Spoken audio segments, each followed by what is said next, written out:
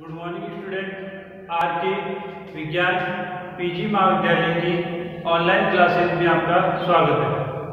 हम BSc mathematics पढ़ रहे थे, ठीक है? उसमें हमने paper number first discrete mathematics विविध गणित की unit number first second complete कर ली थी थर्ड हम पढ़ रहे थे सातवें कलर सातवें कलर में हमने लास्ट क्लास में 8.1 एक्सरसाइज कंप्लीट कर ली थी जिसमें साध्य ग्लन के नियम साध्य ग्लन की परिभाषा नंद गेट, नॉर गेट, उनके क्वेश्चंस एक्सरसाइज का है क्वेश्चन वो हमने कंप्लीट कर ली थी आज हम पढ़ेंगे 8.2 और उसी के साथ इस एक्सरसाइज को कंप्लीट करेंगे और उसके साथ साथ यूनिट नंबर थर्ड भी क्या हो जाएगी? कंप्लीट हो जाएगी। देखिए।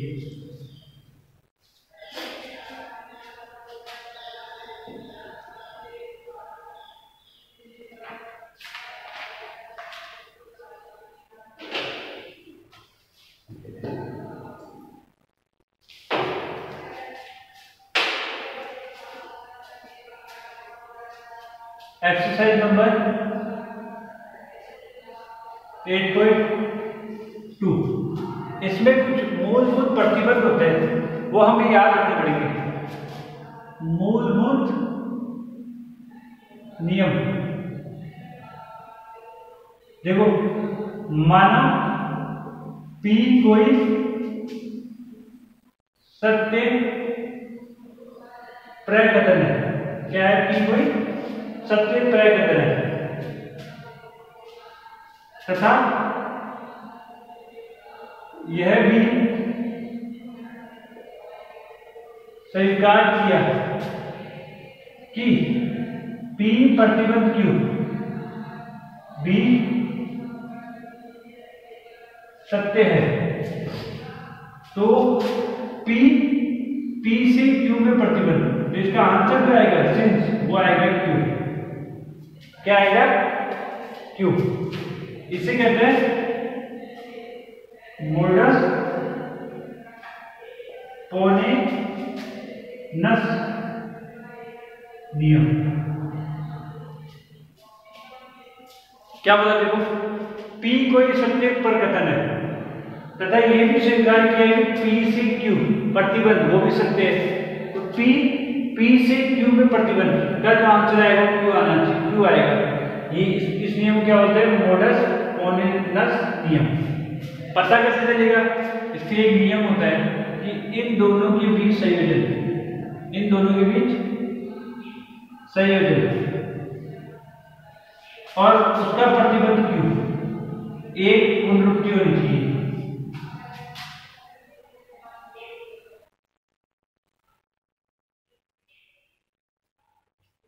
क्या होनी चाहिए पुनरुक्ति पी और पी से क्यू में संयोजन, क्या प्रतिबंध आंसर क्यू पे? क्या चाहिए पुनरुक्ति होनी चाहिए पुनरुक्ति है जब तो सही आंसर नहीं तो गलत है। ये पहला स्टेटमेंट अगला देखो इसको दो स्क्रीनशॉट फिर अगला देखो आगे भी, अगला देखो। ये तुम्हें याद रखनी पड़ेगी। देखो आगे देखो।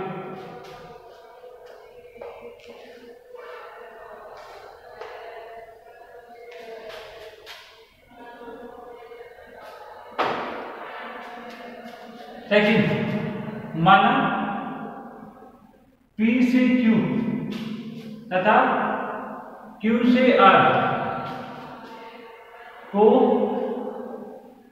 सत्यता स्वीकार्य है। मतलब मान लिया कि पी से क्यू में प्रतिबंध बना हुआ और क्यू से आर वो सत्य है। ठीक है? तो पी से क्यू क्यू से आर तो क्यू से क्यू कैंसिल हो जाएगा पी से आर जाएगा ये इसका आंसर हो गया। ठीक है? इसको कहते हैं संक्रामकता का नियम।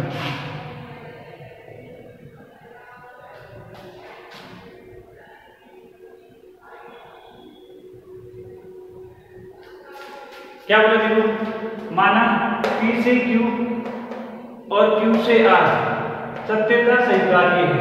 क्या है सत्यता? स्वीकार्य है।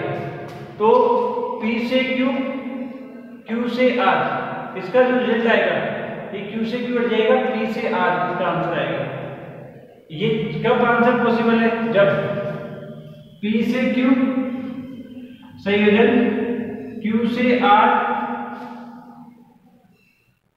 और उसका प्रतिबंध P से R यदि ये क्या हुए? पुनरुक्ति हो। क्या हुए? पुनरुक्ति हो। तभी ऐसा पॉसिबल है। क्या हो? एक पुनरुक्ति हो। तभी ऐसा पॉसिबल है। पी से आर भी जा रहे हैं क्यू से आर भी जा रहे हैं, इसका रिज़ल्ट पी से आर होता है। इन दोनों के बीच संयोजन से प्रतिबंध इसके ऊपर, यदि एक पुनरुक्ति है तो ये नियम सही है, नहीं तो गलत है। अपने को सब में पुनरुक्ति चेक करनी है। पुनरुक्ति चेक करने के बाद आंसर सही आ रहा है तो सही है, नहीं तो नहीं है। ठीक है? और भी खूब सारे नियम है टेबल बना रखी है, अपने को नहीं याद करना है, अपने को क्वेश्चंस करने हैं। पाँच सात क्वेश्चन है फिक्स वो करना है, समझ समझ के करने टेबल याद नहीं करनी। टेबल याद करोगे कंफ्यूज होगे ये दो नियम याद रखना। एक दो नियम बात करूँ।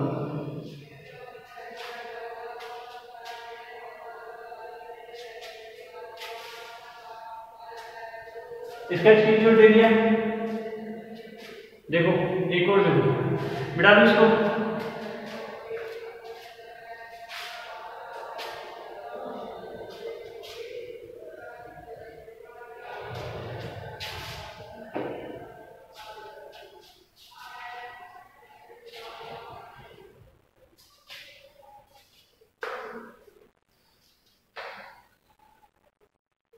देखो समझो यदि P दिया हुआ कोई स्टेटमेंट तो उसका आंसर जो होगा, वो P वियोजन Q होगा। कब होगा ये आंसर इसको बोलते हैं योगफल नियम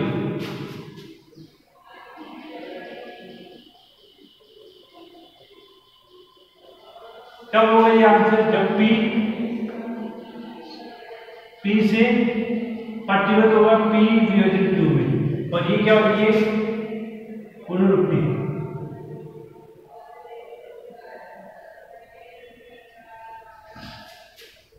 क्या बोला देखो? P है कोई स्टेटमेंट उसका आंसर होगा, वो होगा P वियोजन Q इसको बोलते हैं योगफल नियम। देखो योग हो गया Q का। कब हो ये Q? जब पी से प्रतिबंध बनेगा पी वियोजन क्यू अब बोल, सर, यहाँ से एक है। यहाँ पे एक एलिमेंट एक ही प्रकटन है संयोजन कहाँ से आएगा यहाँ पे दो होते उनके भी संयोजन होता ठीक है? देखो आगे देखो। एक ही देखो। सेकंड पी संयोजन क्यों दिया हुआ है? इसका जो आंसर आएगा इसका जो आंसर आएगा, वो आएगा पी पी संयोजन क्यों दिया हुआ है? तो इसका जो आंसर आएगा वो क्या आएगा? पी इसको बोलते हैं सरलीकरण नियम।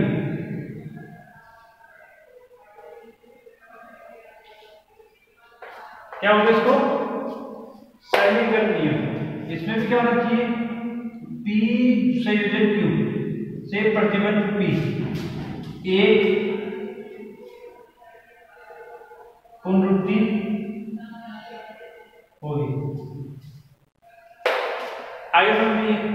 ठीक है? इसका स्क्रीनशॉट ले लो, अब क्वेश्चन करते रहो। ज़्यादा नियम याद नहीं करने अपने को। तुम लोग ठीक बुक कर लिए सब।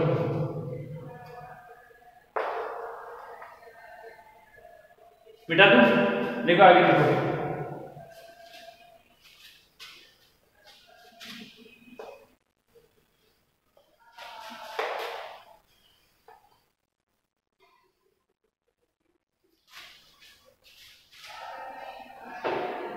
देखो क्वेश्चन देखो। क्या कह रहे हैं? निम्न कथन की वेगता मतलब कथन वेद है या नहीं इसकी जाँच करनी है। वेदता की वेदता ज्ञात कीजिए। क्या कह रहा है? ये स्टेटमेंट दे रखा है तो इसकी वेदता ज्ञात कीजिए कि वेद है या नहीं है। मतलब ये सही है या नहीं है। या ऐसे ही भाव में बोल है। देखो क्या बोल रहा है? स्टेटमेंट देखो।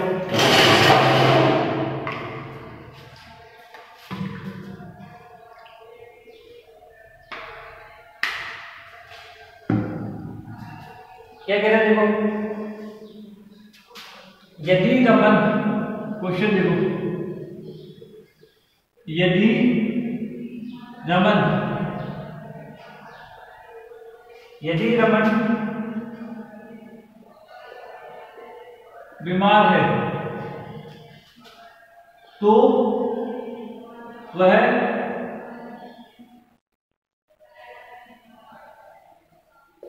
पुत्र हो जाता है। यदि रमन पागल नहीं है। यदि रमन पागल नहीं है तो वह पुत्र नहीं होता।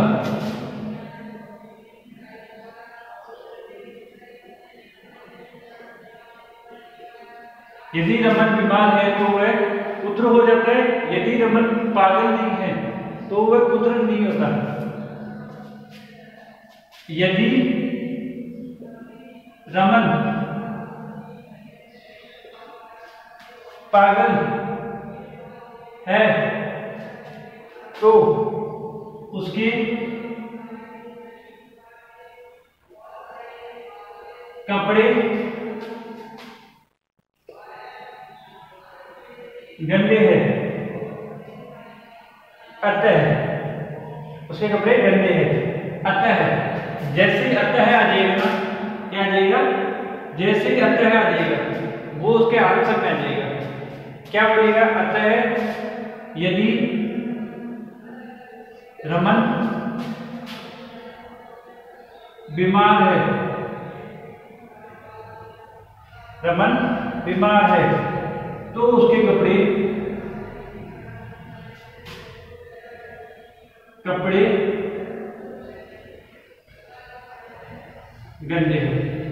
ये तो देखो स्टेटमेंट में स्टेटमेंट दे दिया हमारे को ये स्टेटमेंट ये रमन पागल है, ये रमन पुत्र है, ये रमन के कपड़े गंदे हैं। अब हमारे को दिखाना है इसको। साध्यकरण की फॉर्म में ए बी सी डी या P Q R S form में दिखाना है। ठीक है? देखो, समझो। देखो, पहला स्टेटमेंट यदि रमन बीमार है तो मैं लिखूँगा देखो सॉल्यूशन पहला मानता हूँ ए स्टेटमेंट क्या मान लिया ए क्या लिखूँगा? रमन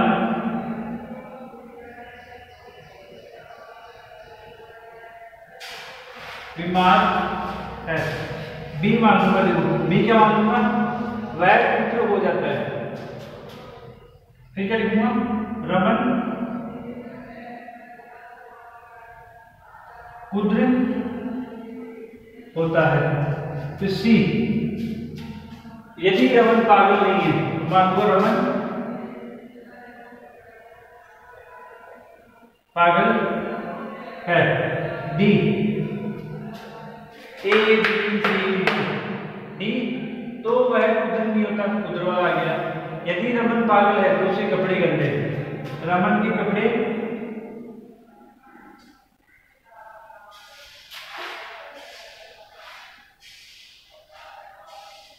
कपड़े गंदे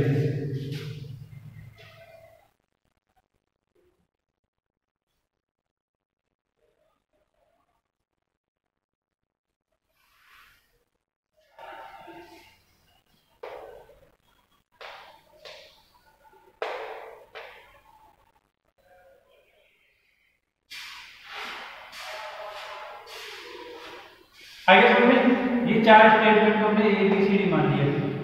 अब हम जैसे दूसरा ज़्यादा हम करते रहेंगे, देखो।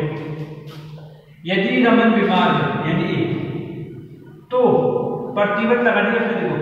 यदि रमन बीमार है तो प्रतिबल रमन पुत्र होता है। तो वह पुत्र होता है, यानी ए से बी आया समझ में आगे देखो। आगे का प्रश्न यदि रमन पागल नहीं है यानी कि माइनस वो नेविगेशन से। तो यदि रमन पागल नहीं है तो वह पुत्र नहीं होता तो वह पुत्र नहीं होता, यानी बी तो वह पुत्र नहीं होता, ऐसे। आए नहीं समझ ठीक है? यदि रमन क्या होता है? बीमार है तो वह पुत्र होता है। यदि वह पागल नहीं है तो पुत्र भी नहीं होता। उसके बाद आगे आगे देखो। आगे बोला, यदि रमन पागल है, यदि रमन पागल है तो उसके कपड़े गंदे हैं तो उसके कपड़े गंदे हैं। अतः, अब आंसर। अतः का मतलब? आंसर। यदि रमन बीमार है, यानी ए तो उसके कपड़े गंदे हैं तो उसके कपड़े गंदे यानी बी। ये आंसर आ जाएगा आया तो अब इन तीनों को सॉल्व करके ये आंसर आना देखो, समझो। यहाँ पे समझो। देखो ए से बी तो ए से बी प्रतिबंध है। अरे ए से बी में प्रतिबंध है। जब नेविगेशन लगाओ ना दोनों साइड तो उल्टा कर देंगे तो नेविगेशन हट जाएगा। तो क्या हो जाएगा? बी से सी देखो ए से बी ये नेविगेशन था, उल्टा कर दिया। बी इधर आ गया सी इधर चला गया। क्या हो गया? बी से सी देखो, संक्रामक का नियम बताया था अभी यदि पी से क्यू है और क्यू से आर है तो जो आंसर होगा वो पी से आर हो जाएगा। पी से आर हो जाएगा। बताया था नहीं बताया था? यहाँ पे वो जाएगा इन दोनों का आंसर ए से बी बी से सी तो आंसर हो जाएगा ए से सी संक्रामकता का नियम।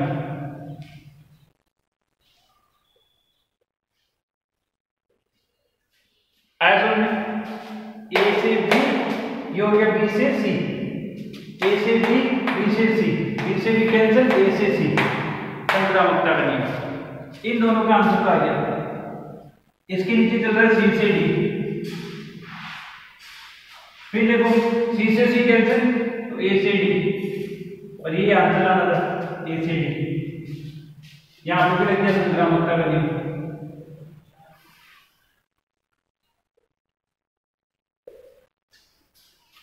ये आंसर आएगा